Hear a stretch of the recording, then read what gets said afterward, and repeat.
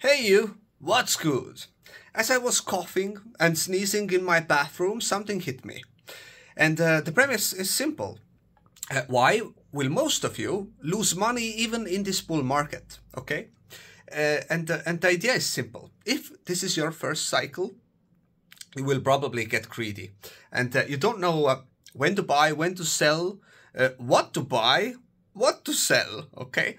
And you will most probably make nothing in this bull market. It, it's what usually is. People don't make money uh, in their first bull markets. If it's your second cycle, you have accumulated over the past year or two. You have familiarized yourself with the cycle theory, okay, four-year things and so on. You have uh, studied, you have made your mistakes, and uh, this time you will probably mess up by holding your previous coins from your previous cycles, uh, putting high expectations of returns for those projects that uh, you have uh, filled your bags with, okay, and you love them, never fall in love with your investments. Bad, bad, bad, bad. So you will probably lose on money on that. If it's your third cycle, okay, you have probably made already a lot of money or at least something from your previous cycle, and you think that you have all things figured out. Uh, you will probably know that Bitcoin is almighty, and you know that Bitcoin dominance brings alts up and down, okay? And you know that uh, we have more than a year left for this bull market. But you know what? You know what? A market always finds a way to screw us or surprise us.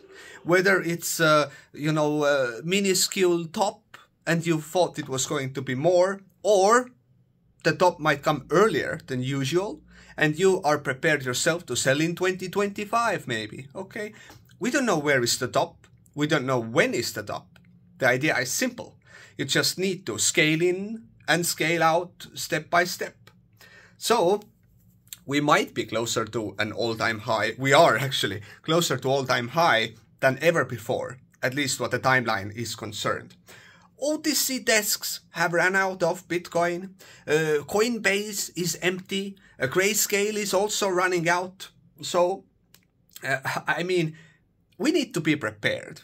And that's the only advice here. Because I don't know where we're going in short term. Uh, absolutely. I, I'm clueless, okay?